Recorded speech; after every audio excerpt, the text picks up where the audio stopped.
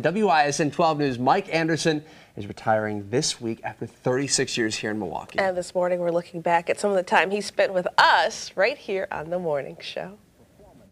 He's been on the air for more than three decades. It is not certain whether any firings will result from the punishment.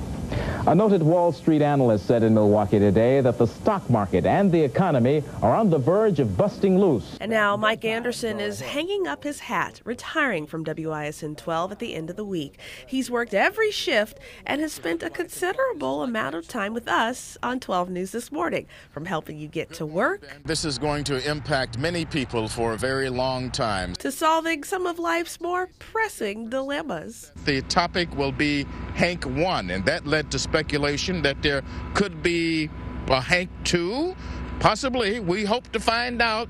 To helping you plan out your weekend. All right, everybody. Big weekend here at the Milwaukee Arena. Come on down. It's going to be marvelous. When helping us out on the morning shift, he starts your day with a smile. All right. Deep fried olives and deep fried fruit on a stick. Pie on a stick, Mom calls it. I like that. Yep. Come on down, folks. Uh, some good new stuff here for you at the fair this year. His wit, experience, and bright smile will certainly be missed. I'll see you tomorrow. Take it easy and have a good night, everybody.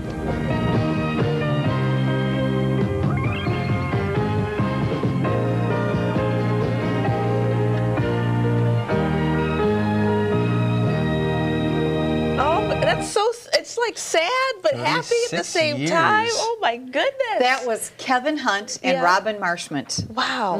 1984, I believe that Yes, was from. My uh-huh. goodness. Wow. Long time. And we're still in that same newsroom, but it sure looks a lot Lot different. different. Like many of us. I was like, where is that? Uh, I love it. Boy. It was right in the newsroom at the time, but yeah, what a great career He's Mike done has had. everything. and Yes. the stories he's covered, and he, like you said, he's worked almost every shift. Every mm-hmm. shift. like, in this mm-hmm. building. Mm-hmm. Well, we've been lucky to have him.